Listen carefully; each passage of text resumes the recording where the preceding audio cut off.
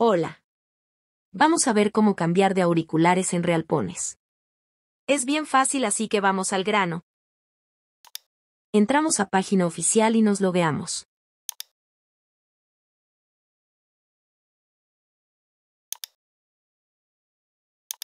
Aquí es donde haciendo clic en Exchange podemos cambiar algún auricular que tengamos por cualquier otro de los disponibles.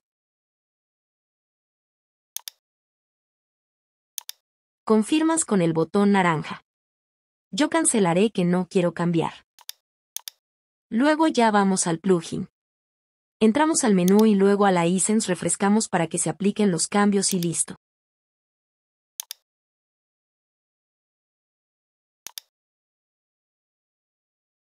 Gracias por la visita.